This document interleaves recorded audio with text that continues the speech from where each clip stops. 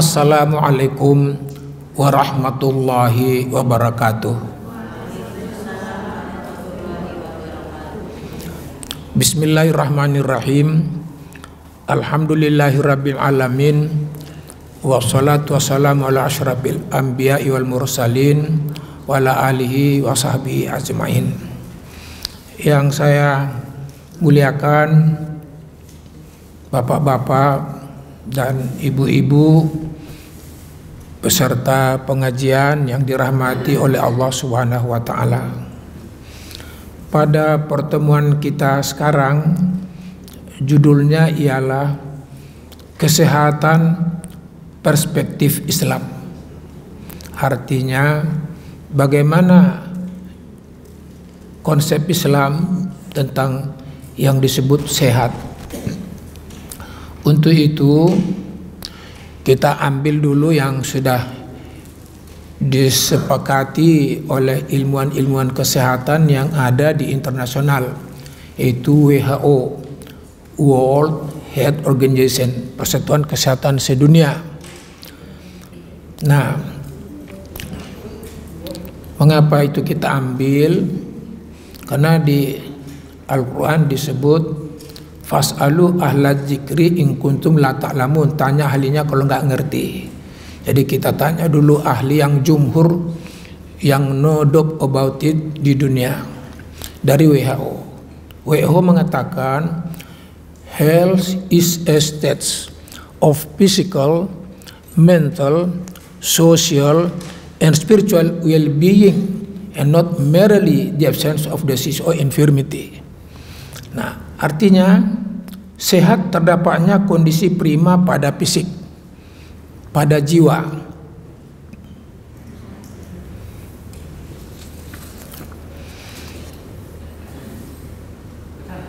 Pada kemasyarakatan dan aktivitas yang didasarkan kepada nilai tertinggi ultimate value yaitu tidak sekedar lepasnya seseorang dari penyakit dan kelemahan. Uh, baik ya, uh, saya ulangi karena apa yang saya katakan tadi itu ada kekurangan. Health is a state of physical, mental, social, and spiritual well-being, and not merely the absence of disease or infirmity. Artinya ialah Sehat adalah terdapatnya kondisi yang prima pada fisik. Itu pertama. Pada jiwa. Yang kedua, pada kemasyarakatan dan pada spiritual dan tidak sekedar lepasnya seseorang dari penyakit dan kelemahan. Itulah yang sehat.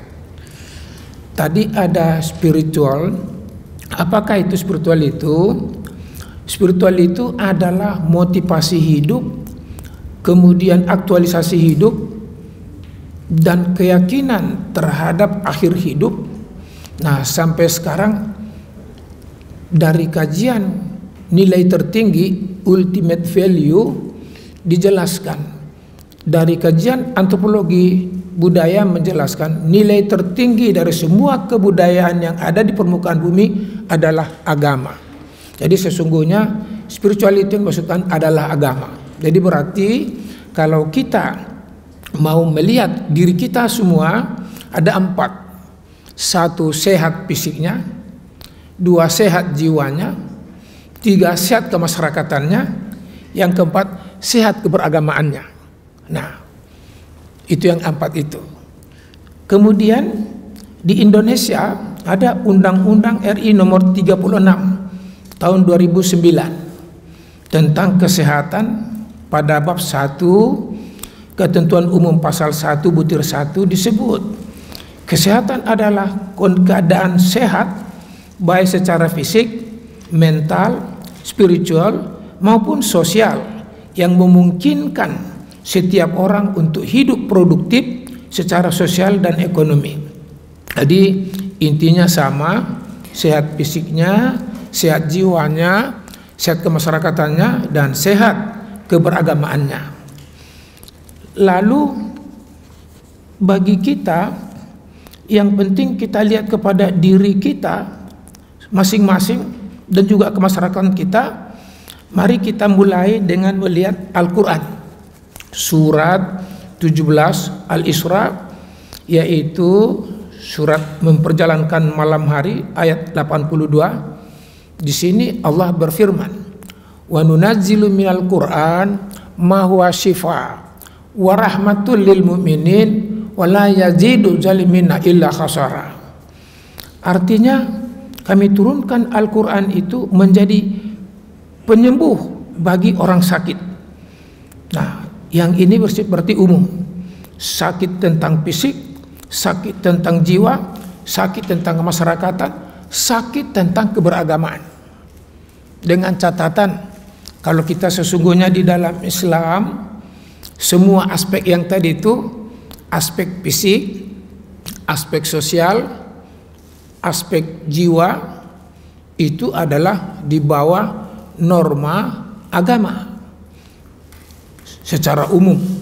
Jadi berarti kalau di Islam karena di Islam itu apa yang disebut tugaskan yang ditugaskan kepada kita adalah menuntut dan mempraktekkan ilmu sesuai dengan arahan dari oh, surat Yunus 101 kulinzuru maja fis samawati wal ard. Gunakan metodologi ilmiahmu menjelajahi seluruh jurusan-jurusan langit dan bumi yang dapat kamu lakukan.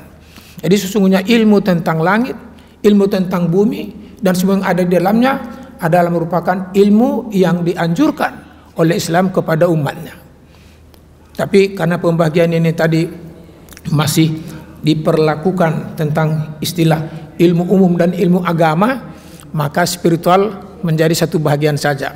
Sekali lagi kalau dalam Islam, spiritual lah induknya yang akan menjadi dasar kepada penyihatan fisik, penyihatan jiwa, penyihatan kemasyarakatan seseorang. Nah, jika kita lihat ini dari ayat ini apakah yang bisa kita ambil kesimpulan ialah orang beriman 100% atau sempurna atau kafah tidak akan terganggu kesehatannya. Orang yang terganggu kesehatannya pasti ada unsur iman yang tidak diamalkannya. Itu prinsipnya. Karena tadi disebut wa nunajjilu minal Qur'an ma huwa shifa wa rahmatul lil mu'minin wa la yazidu zalimina illa khasara. Berarti orang beriman 100% tidak akan terganggu Berarti kalau ada orang sakit pasti ada unsur imannya yang terlena dalam kehidupannya. Itu yang mau kita lihat nanti. Nah, saya lanjutkan. Allah Subhanahu wa taala tidak pernah menganiaya diri manusia. Al-Qur'an surat 2 Al-Baqarah ayat 195. Wala tulqu biaidikum ila tahlukah Artinya jangan kamu jatuhkan dirimu ke dalam kebinasaan. Jadi kalau kita sakit berarti ada unsur iman itu yang kita tabrak, tidak kita amalkan, berarti kita yang menjatuhkan diri kita ke dalam kebinasaan itu. Kemudian kita lihat lagi manusialah yang binasakan dirinya, bukan Allah Subhanahu wa taala. Al-Qur'an surat 10 Yunus ayat 44 bunyinya innallaha la yazlimun la innallaha la yazlimun nasa syai'a walakinna nasa anfusahum yazlimun. Artinya sesungguhnya Allah tidak pernah menganiaya manusia. Akan tetapi manusia itu sendirilah yang menganiaya diri mereka jadi berarti harus kita renungkan dalam-dalam dan jujur terhadap apa saja sesungguhnya yang kita isi di dalam pengetahuan kita, sikap kita, perilaku kita dalam kehidupan yang ada hubungan dengan kesehatan, penyakit dan penyembuhannya. Selanjutnya di dalam Quran surat 3 An-Nida ayat 22 sebagai berikut. Nisa. An-Nisa ya dilarang bunuh diri. Nah, wala tulqu wala wala taqtulu anfusakum. Innallaha kana bikum rahima. Dan jangan kamu bunuh diri kamu. Sesungguhnya Allah itu kasih sayangnya kepada kamu. Sesungguhnya Allah itu kasih sayang kepada kamu. Jadi berarti kalau ada orang bunuh diri nah itu dilarang oleh agama nah jadi ada tiga ini yang kita ambil kemudian yang keempat peringatan pokok pangkal penyakit dan berpantang itu obat dari hadis. Jadi perut pokok pangkal perut pangkal penyakit dan berpantang itu atau diet itu dari hadis ya diet itu berpantang itu adalah obat. Nah hadisnya al-maidatud da'i wal himyatu rasu kulli dawa. Artinya perut itu rumah atau pokok pangkal segala penyakit dan pantangan atau diet itu kepala segala obat. Nah, jadi kita lihat dulu pernyataan-pernyataan Allah tentang oh tentang kalau ada kita sakit lalu kita sebut ini takdir Allah. Tunggu dulu takdir yang mana? Kalau takdir yang betul-betul dari Allah datang kita sudah berbuat baik, nah itu berarti betul-betul ada cobaan dari Allah yang tidak dari dasar perilaku kita.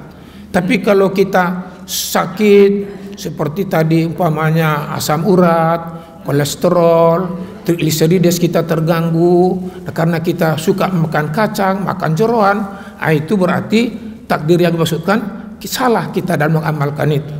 Karena hadis sudah bilang perut itu rumah pokok pangkal segala penyakit dan pantangan dia itu segala pangkal segala obat. Nah, jadi di sini kalau tidak salah ingat saya ada ayat Quran yang mengatakan fakulu mimma rajakakumullahu halalan tayyiban. Halal itu berarti jad dasarnya. Tayyiban itu bergantung kita masing-masing. Kalau kita umpamanya sudah kegemukan obesity, maka makannya harus dijaga harus dijaga nah kemudian kalau kita sudah ada gangguan jantung maka hindarkanlah seperti yang mengundang kolesterol asam urat dia dan kolesterol asam urat dan yang berakibat kepada diabetes dan oh, stroke jadi kalau kita lakukan juga Nah itu berarti kita menabrak apa yang dikatakan Allah yaitu yang di uh, surat al Ali surat tadi wa nunajjilu minal Qur'an ma huwa mu'minin. Jadi karena keluar dia rahmat Allah itu dia tabrak dia menjadi sakit. Jadi untuk itu hati-hati juga. Takdir Allah itu yang mana? Takdir dalam arti sunatullah yang memang betul-betul Allah yang mendatangkan penyakit. Cobaan kepada kita padahal kita jujur sempurna ataukah memang karena perilaku kita? Nah gitu. Kemudian ada orang kuat lebih baik daripada yang lemah ini hadis riwayat muslim yaitu an Abi Hurairah kala Rasulullah sallallahu alaihi wasallam khairan wa habban ilallahi minal mu'minil da'if. Artinya orang mukmin yang kuat itu lebih baik dan lebih disayangi oleh Allah daripada mukmin yang lemah. Nah jadi ini berarti Allah menyuruh kita kuat tentu menjaga menu kita menjaga jiwa kita menjaga kemasyarakatan kita dan menjaga peribadatan kita Nah, itu kata kuncinya di situ. Nah, jadi kalau sudah sempurna itu kita sempurna memakan makanan yang taiban, yang taib itu yang cocok dengan diri masing-masing dan dasarnya halal. Nah, maka kita akan disayangi oleh Allah. Nah, gitu. Kemudian jika seseorang menderita penyakit yang tidak bisa mengkonsumsi makanan tertentu seperti diabetes, asam urat, kolesterol, minyak darah tinggi, minyak minyak darah dan darah tinggi, Allah menyadarkan menyadarkan mereka bahwa banyak pilihan diberi Allah pada tumbuhan hewan dan mineral. Itu dijelaskan dalam Quran surat Al-Baqarah, surat 2 Al-Baqarah 185 yaitu Al-Maidah ayat 6, hadis hasan riwayat Ahmad, Ibnu Majah dari Ibnu Abbas dan Ibnu Majah dari Ubadah sebagai berikut yaitu Allah menghendaki kemudahan bagimu dan tidak menghendaki kesulitan bagimu. Tidaklah Allah menghendaki membuat kesusahan atas kamu sekalian. Kemudian jangan kamu bahayakan dirimu dan jangan kamu bahayakan orang lain. Itulah arti dari ayat ini. Maknanya apa? Maknanya kalau ada satu orang penderita diabetes, aduh apa lagi makanan ya makan nasi tidak boleh dan sebagainya. Nah itu kurang paham dia tentang Islam itu. Allah itu tidak hanya mengasih makan dengan nasi. Mari kita lihat saja contohnya orang Papua itu sagu hidup. Orang oh, orang orang Madura itu jagung. Orang Gunung Kidul Tiul hidup. Kemudian orang apa dulu oh habis mau Manado itu apa namanya yang muslimnya sekitar 80 persen yaitu Gorontalo. Dulu juga jagung. Nah jadi banyak pilihan. Makanya ada ayat di Quran itu apa yang kamu dustakan tentang rahmatku? Nah itu. Jadi dengan demikian kalau memang sudah tidak bisa makan nasi tukar. Dan biasanya fungsi usus kita itu otomatis dia menyelesaikan diri peptid A kedua donal kualitas kita akan menyelesaikan diri apa yang kita konsumsi. Tapi yang penting jiwanya menerima. Kalau jiwanya menolak maka fungsinya juga akan ber, akan tidak menerima. Saya lari sedikit kepada awal. Bagaimanakah sesungguhnya ada hal yang penting saya jelaskan? Sesudah fisik manusia itu dalam kandungan dibuat Allah diberikan Allah ruhnya ya Allah dimasukkannya ruh baru lahir jiwa jadi rumusnya menurut saya mungkin kita bisa berbeda fisik tambah ruh lahir jiwa sesudah lahir jiwa tapi belakangan jiwa inilah yang menjadi power yang kekuatannya, yang penguasa. Badan bapak, badan ibu bisa kuat datang ke sini. Tapi kalau jiwanya nggak mau, nggak jadi datang itu. Jadi jiwa pengambil keputusan terhadap perilaku kita. Jadi tadinya dia kalau ndak ada ruh, ndak akan hidup. Tapi fisik tambah ruh melahirkan jiwa. Jiwalah yang menjadi power dan dialah yang memimpin kita. Nah, oleh karena itu kalau jiwa kita sudah mau menerima unsur makanan tertentu, karena kita berpantang kepada yang satu menurut fisik kita Allah itu akan memberi fungsi kepada usus kita itu sempurna dia menerima itu nah jadi jangan ada satu kata apalagi yang tidak saya makan ya nah Allah memberikan variatif jadi jangan mengeluh tentang itu nanti Allah mungkin senyum dia melihat kita masa begitu banyak yang sebuat sumber makanan dia bilang tidak ada lagi orang putus asa nah gitu Nah kemudian masuk kita dulu. Tadi katanya orang beriman itu akan tidak akan sakit. Bagaimana membayangkan ini bapak-bapak ibu-ibu? Ada yang mudah sesungguhnya. Pernahkah bapak-bapak ibu-ibu pergi ke puskesmas? Di situ ada tulisan empat sehat, lima sempurna.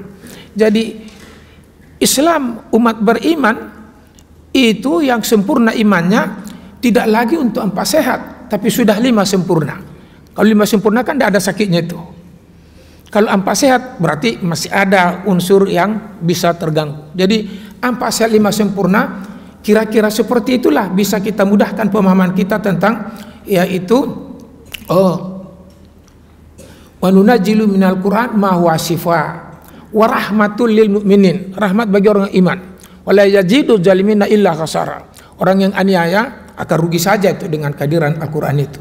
Jadi itu kuncinya. Yaitu kita mesti beriman 100% maka tidak akan mungkin baik pada fisik, sakit pada jiwa, sakit pada kemasyarakatan, sakit pada peribadatan kita. Nah, itu kira-kira kuncinya tadi. Sekarang mari kita masuk ke iman dan aspeknya. Nah, pengertian iman dalam pengertian iman dalam hadis Rasulullah SAW sebagai berikut: al imanu atas diku bi kalbihi wal kaulu bil lisan wal amalu bil arkan. Jadi iman itu adalah dibenarkan oleh sistem pengetahuannya, kemudian diikrarkannya dengan lidahnya, kemudian diamalkannya apa yang dikatakannya itu. Jadi tiga ini kunci. Jadi berarti kalau ada orang dibenarkan oleh jiwanya, kemudian diikrarkan oleh lidahnya, tapi tidak diamalkannya, berarti imannya itu 66 persen kurang 33 persen lagi. Karena kalau bahasa orang-orang pendidikan kognitif, afektif, sepeda motor, eh, psikomotor, psikomotor, yaitu jiwa, ilmu pengetahuan, sikap dan perilaku. Nah, jadi kalau sekiranya memang jiwanya memiliki pengetahuan keimanan tentang Allah, dia ikrarkan saya beriman kepada Allah, tapi tidak dia praktekkan berarti sepeda motornya nggak jalan. Prakteknya nggak jalan. Nah gitu ya nah kemudian mari kita kalau begitu kita masukkan sekarang. Hadis riwayat muslim tentang rukun iman. Nah di sini rukun iman itu disebut yaitu tu'minu billahi wa malaikatahu wa kutubihi wa rusulihi wal yaumal akhir wal yaumil akhir wa tu'minul wa tu'minu bil qadari khairihi wa sarahi wal ba'thi ba'thil akhir artinya kita ambil dulu supaya mudah kita mengkaji ke depan berkata pula orang itu terangkanlah kepada aku tentang iman jawab Nabi iman itu percaya kepada Allah percaya kepada malaikat percaya kepada kitab-kitabnya percaya kepada para rasulnya, percaya dengan kadar baik dan maupun buruk, kemudian percaya pada hari kiamat. Ini diriwayatkan oleh Muslim. Nah, berarti ada iman. Nah, ada iman. Kemudian mari kita ada enam ya, ada enam. Nanti ada perbedaan kita. Kalau di dunia uh, studi saya di dunia Kristen yaitu di surat Keluaran pasal 20 sampai 237 itu Ten Commandment 10 rukun imannya 7 rantingnya nah, di kita 6 cabangnya kita lihat juga di sini ini yaitu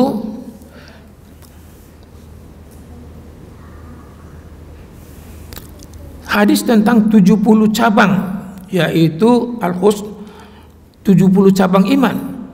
Al imanu bid'un wa sab'una syu'batan wal haya'u syu'batun minal iman. Itu riwayat muslim. Iman itu mempunyai 70 cabang. Nah malu itu adalah salah satu ranting iman jadi berarti kalau di dalam Islam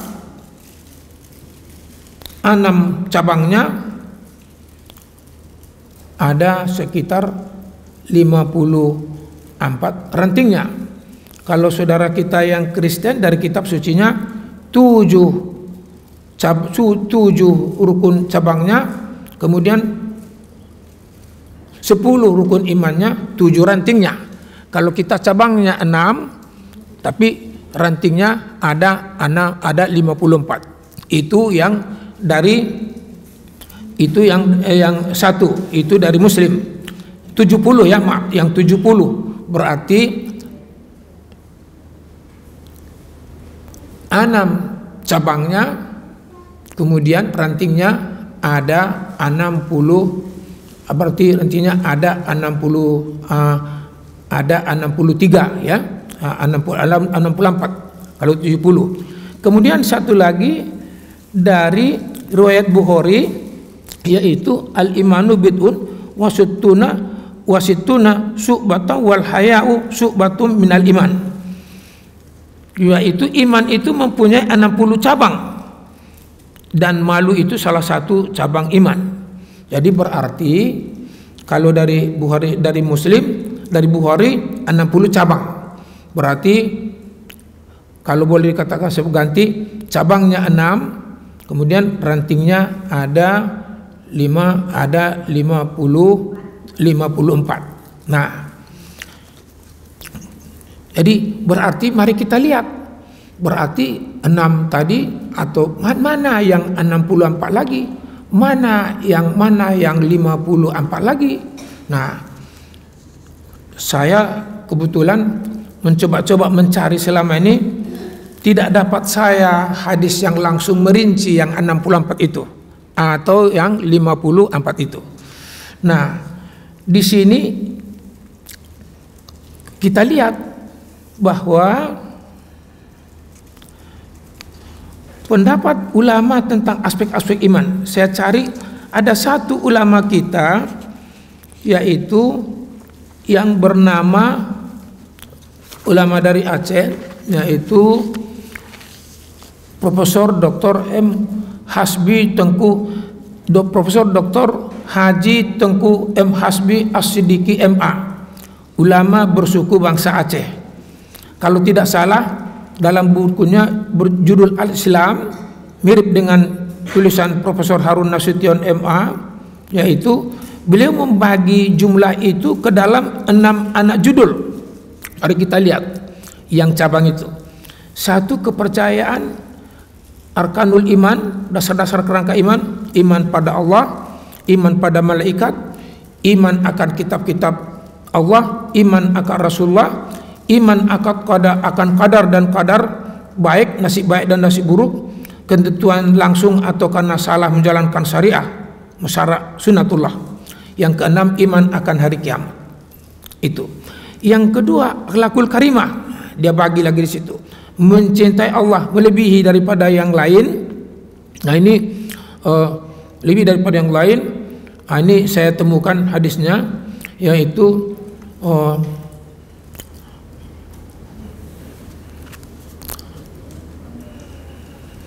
hilang dari ingatan saya tadi ya. Jadi limanu wa man kana Allah wa rasulahu ahabba ilaihi mimma siwahuma.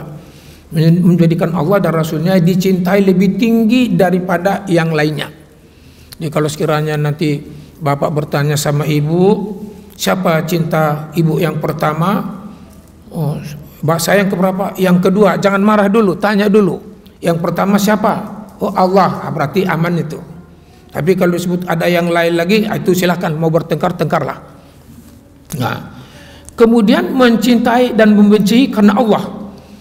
Jadi berarti kalau kita membenci seseorang hanya karena Allah, pamannya karena dia tidak, karena dia selalu mengejek Islam atau dia tidak mau beribadah, kita benci, nah itu sah-sah saja. Dan memang ada juga hadis Kulil haqqa walau kana muran. Katakan yang benar walaupun pahit. Perlu diingat, semua orang mengutarakan yang benar belum tentu orang langsung menerima. Ingat Rasulullah itu mulai dari awalnya sampai akhir tidak semua menerimanya. Tapi dia harus tetap tegar sebagai seorang nabi. Nah, kemudian mencintai Rasul ikhlas dan benar tobat dan nadam sungguh-sungguh menyesal atas perbuatannya yang keliru takut akan Allah, harap akan Allah, bersyukur pada Allah, menepati janji, kemudian sabar atas realita hidup, atas dasar usaha yang benar, yang halal, ridho akan qada dan qadar, tawakal, menjauhi ujub atau sombong, rahmat dan syafakat, tawadu dan malu, suka memberi maaf, menjauhkan kicuhan dan tipuan amalan anggota lidah mengucapkan dua kalimat syahadat membaca Al-Quran mempelajari dan mengamalkan ilmu berzikir dan bertilawah dan bertahmid beristighfar dan berdoa menjauhkan perkataan yang sia-sia. Kemudian tugas hidup untuk diri sendiri bersuci menutup aurat dan berpakaian ihsan mendirikan sholat mengeluarkan zakat sodakah dan infak infak di jalan Allah memberikan makan fakir miskin dan mengurus anak yatim piatu memuliakan tetamu mengerjakan puasa, mengerjakan haji dan umroh, melepas najar, berhijrah dari negeri syirik.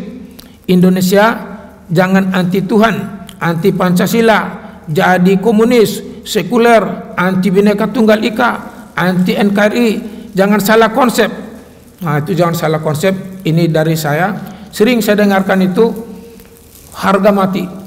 NKRI harga mati. Itu saya kritik. Kalau harga mati bisa kita jual. Supermarket itu semua harga mati, kan dibeli orang. Jadi tidak begitu. Yang benar ialah NKRI tidak dijual. Itu yang benar bahasanya. Bukan harga mati. Kalau harga mati berarti kita jual itu, harganya tinggi, dibeli orang. Nah, nanti kalau begitu kondisi kita pula-pula pasti kita jual. Yang penting harganya tinggi. Nah, harga mati nama. Jadi tidak pakai harga mati. Oleh karena itu hati-hati juga untuk mengikuti bahasa orang tertentu. Yang jelasnya NKRI tidak dijual, itu baru benar. Nah, kemudian berhati-hati mengeluarkan sumpah, menyelesaikan urusan jenazah, membayar hutang dan kafarat, hukuman atas pelanggaran syariat, berlaku benar dan bermuamalah bermasyarakat, menunaikan syahadat, syahadat, memerdekakan budak. Indonesia tentu memberi upah yang layak dan membela pembantu rumah tangga dari majikan yang berbuat kekerasan. Kemudian tugas hidup untuk keluarga, nikah, menegakkan rumah tangga. Jadi berarti kalau ada kita lihat itu seperti LGBT itu masuk yang kurang imannya menurut kajian dari Hasbi Asidiki menjabarkan yang 60 lebih itu. Memenuhi hak keluarga, jangan rajin kawin, rajin pula cerai. Nah, kemudian 49 berbakti kepada dua orang tua, ibu bapak. 50 mendidik anak dan keluarga. 51 menyayangi budak, pelayan dan buruh. Kemudian tugas hidup untuk umum, memerintah dengan adil dan insaf. Nah, berarti kalau ada pemerintahan yang tidak adil, berarti keluar dari aspek iman itu. Nah, ada slogan di saya lihat di Jawa Barat itu Gemah Ripah Loh Jenawi yaitu pemimpin yang benar adalah yang memakmurkan rakyatnya. Jadi kalau ada rakyat ada pemimpin tidak memakmurkan rakyatnya berarti keluar dari slogan worldview pandangan hidup orang orang oh, orang Sunda itu. Nah, nah kalau di sini dikatakan yaitu memerintah dengan adil dan insaf. Kalau dari Islam keluar dia dari salah satu butir keimanan yang 70 itu. Kelima lima tiga mengikut jamaah pendapat ulama yang benar. Nah, pendapat ulama yang benar kalau di kita di Muhammadiyah itu ada tarjih yang memberikan kajian-kajian tentang halal haram dan sebagainya. Kemudian menetapkan sesuatu berdasarkan syarak, berdasarkan hukum, berdasarkan syariat, ya. Jadi umpamanya umpamanya kalau kita sholat tentu ada dasarnya. Nah, kemudian pernah dulu nggak usah saya sebutkan dari mana, ada yang menggunakan logika. Waktu saya dulu menjadi kepala apa ketua as, ketua asrama pesantren Al Misbah di Banda Aceh itu tahun 65 itu banyak orang-orang yang datang sholat. Tadinya mereka itu mungkin dari PKI kemudian tobat karena dianggap tobat itu melindungi mereka datang sholat ke masjid itu. Lalu ada saya lihat satu jemaah pas tasawuf akhir itu tasawuf itu tangan kirinya dia taruh. Nah habis itu saya tanya hmm, pak tadi saya lihat tangan kiri bapak taruh tasawuf oh ya dia bilang. Gua dapat celama ustad dibilang ustad kalau oh, kalau kita tolak tidak boleh ada nadi. Kalau kita sholat tidak boleh ada najis. Nah, waktu gua talok yang kanan itu cicak belak untung Allah itu pemula ada telap ada serap nah, jadi itu akal kan? Itu akal. Tidak bisa kita laksanakan itu. Jadi walaupun ada sesuatu yang cocok menurut akal kalau tidak cocok menurut syarat jangan diamalkan. Nah itu ya. Kemudian menetapkan sesuatu berdasarkan syarat 55 mentaati putusan ulul amri parlemen pemerintah yang adil dan benar. Nah jadi yang ulil amri yang benar ya yang benar. Nah ada satu hal yang belakangan oh lupa saya nanti luruskan saya.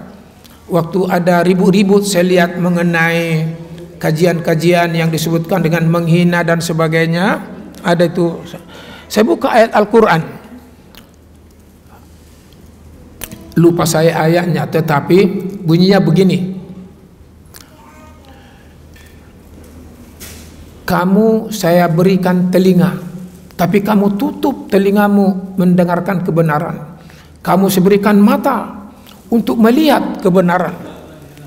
Kamu saya berikan hati untuk mengolah penglihatan dan pendengaran menjadi kebaikan.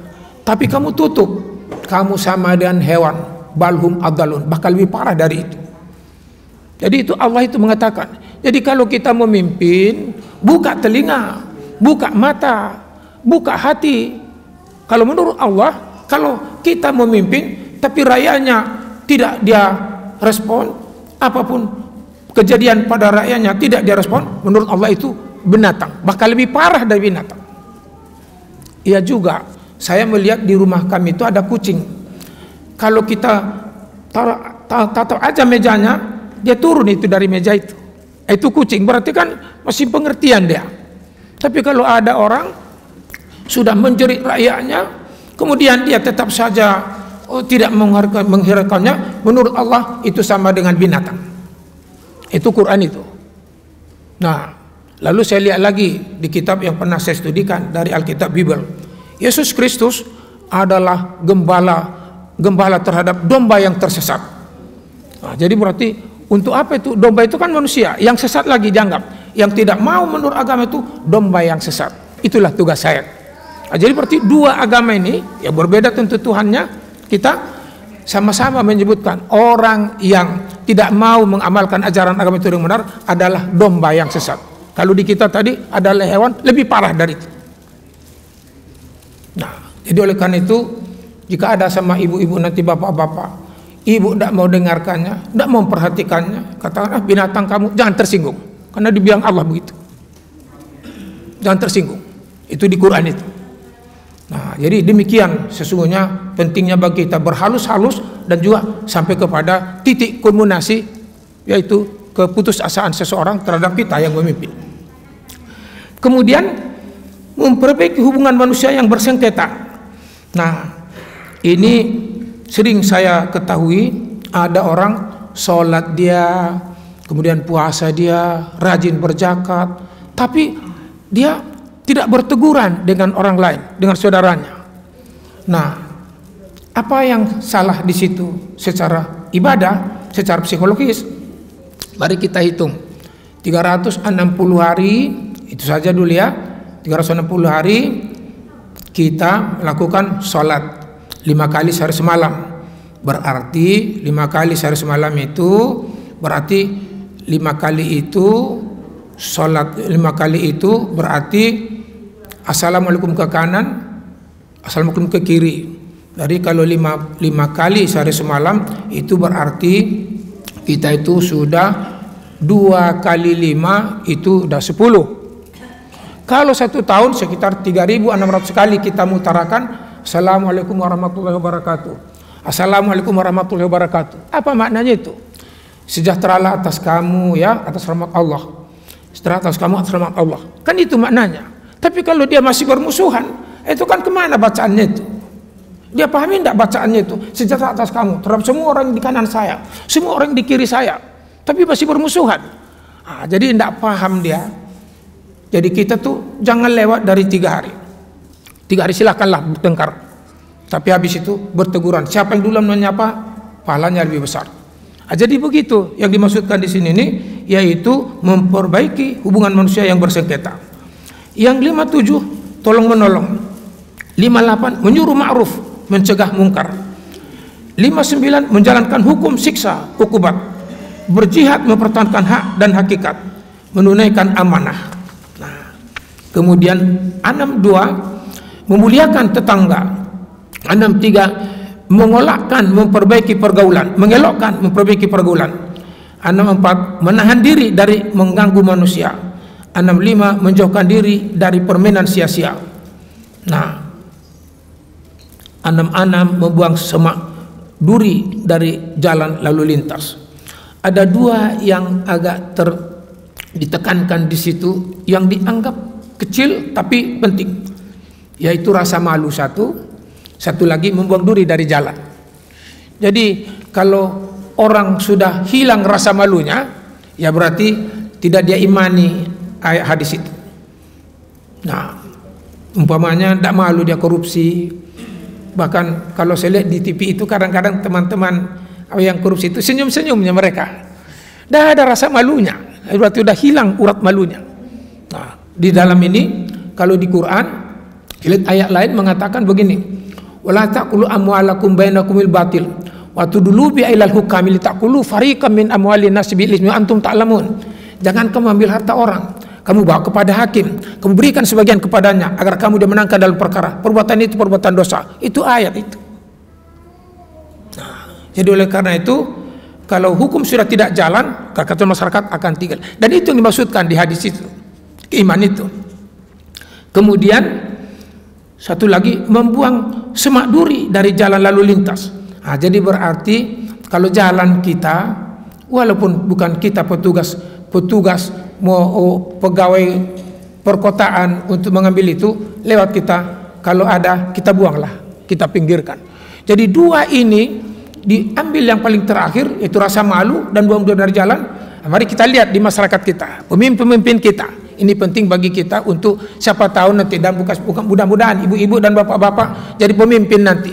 Ingat ini yang 60 cabang ini. Ingat yang 70 cabang ini. Nah, sekarang analisa hubungan iman dengan kesehatan.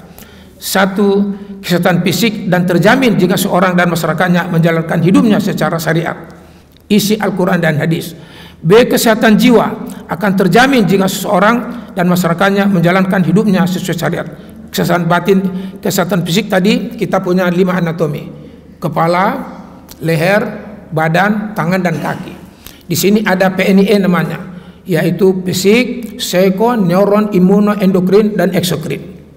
Nah, semua ini akan sehat kalau kita mengkonsumsi makanan yang sehat, makanan yang halal dan yang benar, yang baik, baik sesuai dengan kondisi fisik masing-masing. Nah, seperti itu.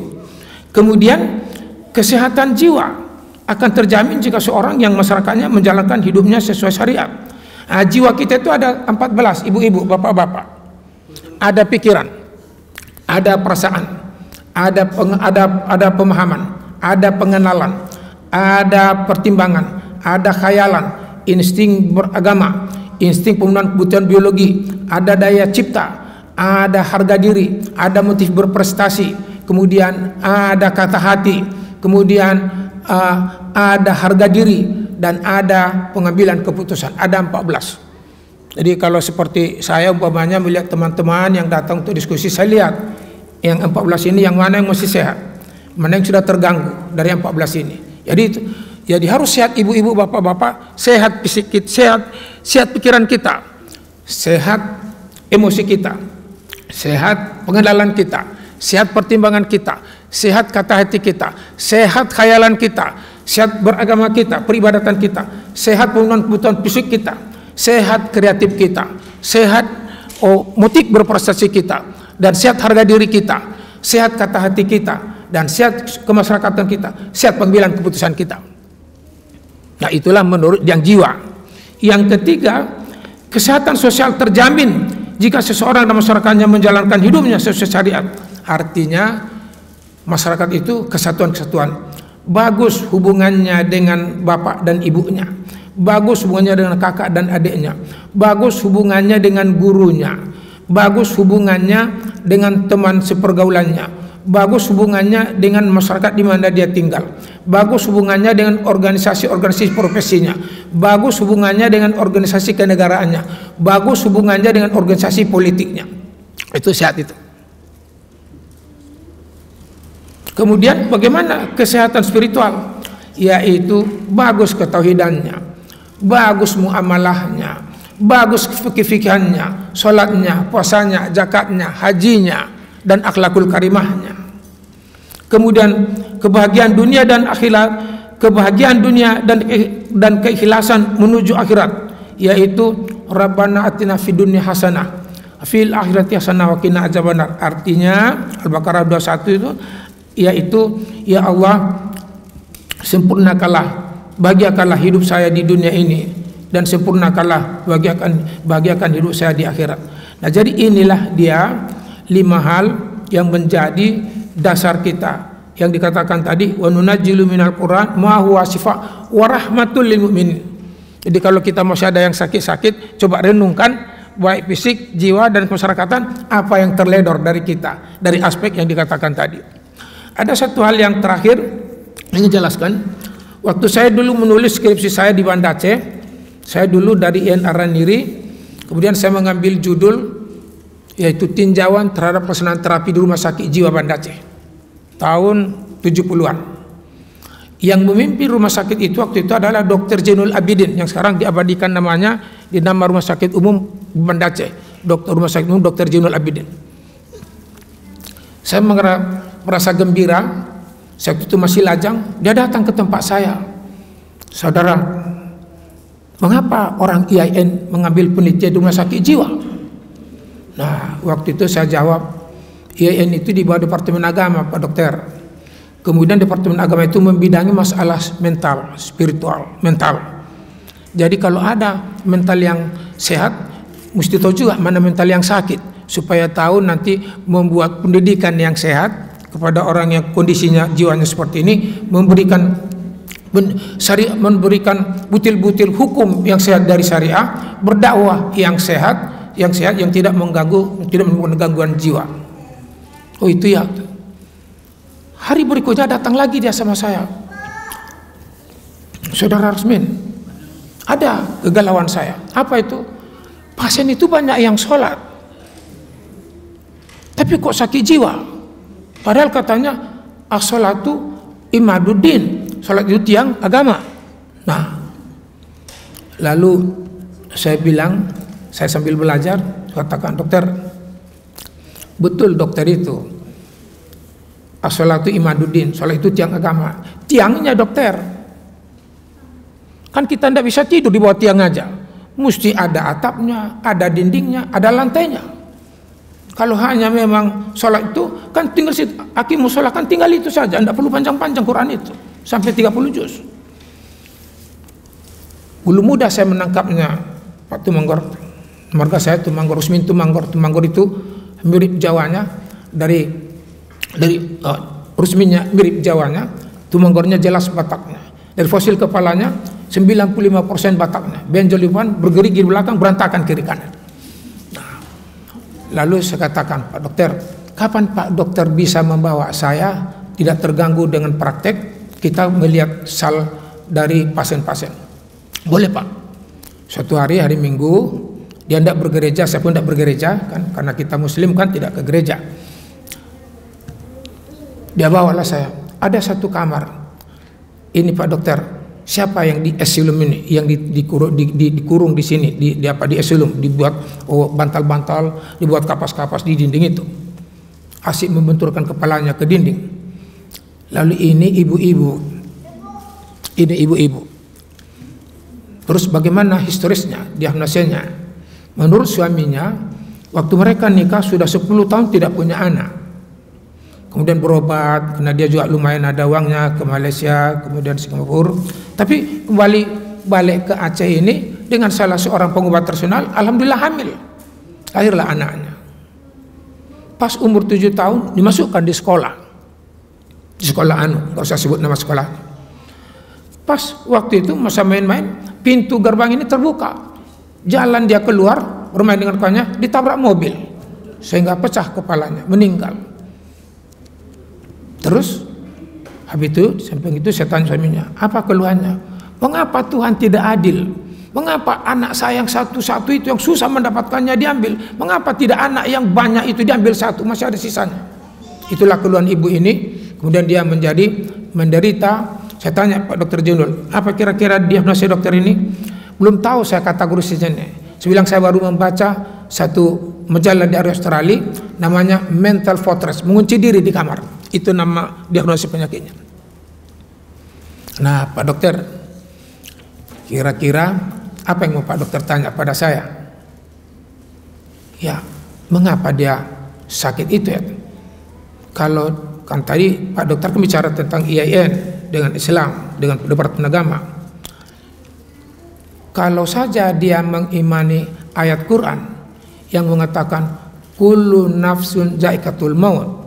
Setiap yang bernyawa sebagai akan meninggal kemudian dia hubungkan dengan salah satu kalau nggak salah al munafikun ayat 11 wala yu'akhirallahu wala yu'akhir wala yu'akhirallahu nafsan idza jaa ajaluha wallahu khabirum bima ta'malun. Allah nggak pernah memperlambat ajal seseorang kalau tiba waktunya. Ada lagi surat Al-Hijr ayat 5 yang lebih tekan. Ma tasbiqu min ummatin ajalha wa ma Allah tidak pernah memperlambat mempercepat ajal seseorang kalau tiba waktunya. Inilah yang tidak diimani ibu itu. Sekiranya itu diimani ibu itu, dia cium anaknya sebelum dibawa ke makam. Ya Allah ya Tuhan, tujuh tahun engkau beri saya kegembiraan dalam hidup ini mempunyai anak. Kemudian engkau minta kembali, seserahkan kembali ya Allah dan tegarkan jiwa saya menghadapi ini. Saya kira dia tak akan jatuh menderita mental fortress itu. Nah, jadi demikian kira-kira betapa hubungan ke, ke hubungan keberagamaan kita dengan iman yang dimaksudkan tadi itu dengan kesehatan kita. Sehat fisik sehat jiwa sehat masyarakat sehat peribadatan kita. Insya Allah dengan demikian bapak-bapak dan ibu-ibu dari pengajian kita ini dengan segala karena umur saya sudah 76 tahun kadang-kadang tidak lurus lagi ungkapan lahjahnya itu sudah berbelepotan sana sini mohon dimaafkan. Nah jadi penutup kita Mari kita telusuri memori keagamaan kita. Sejak kita sadari kita hidup dan kita sesali perbuatan yang mengganggu dan merusak kesehatan kita dan kita syukur serta lanjutkan amal ibadah yang baik yang pernah kita lakukan yaitu hadis traktum fi traktu traktum fi marani ma inta masaktum bima lan tadil abadan kitab wa sunnati Taraktu fikum amrani ma in tamassaktum bima lan tadil abaran kitab Allah wa sunnati. Saya tinggalkan padamu dua hal kata Rasulullah, siapa yang berpegang kepada kedua itu selama Allah hidupnya. Apa itu? Al-Qur'an dan hadis. Al-Qur'an dan sunnah. Jadi mari kita kembali ke situ supaya kita mudah-mudahan dengan kajian yang sederhana ini kita tetap mengontrol diri kita, mengkoreksi diri kita dan jangan malu-malu untuk memperbaiki diri kita sendiri. Jadi insya Allah kita akan sehat dari berbagai penyakit yang mungkin kita derita dan satu hal saya salah satu konsultan pengobatan tradisional di Depkes. Dari diskusi-diskusi kami obat dari dokter itu hanya 15% fungsinya. 85% berada di tangan kita. Dikasihkan pun obat kalau kita tidak mau makan dan juga sehat. Kita makan pun tapi di hati kita menggerutu dan juga sehat. Harus ikhlas. Maka kalau dari dokter kita Katakan, ya Allah ya Tuhan, saya terima ini dari dokter, berkahkan obat ini ya Allah supaya saya sehat. Nah itu, jangan ini karena dokter ini kalau enggak nggak saya makan, itu enggak sehat tuh. Nah gitu kira-kira bapak-bapak, ibu-ibu, oh, mohon diperbanyak maaf. Akhirul kalam, wabillahi taufiqul hidayah. Assalamualaikum warahmatullahi wabarakatuh.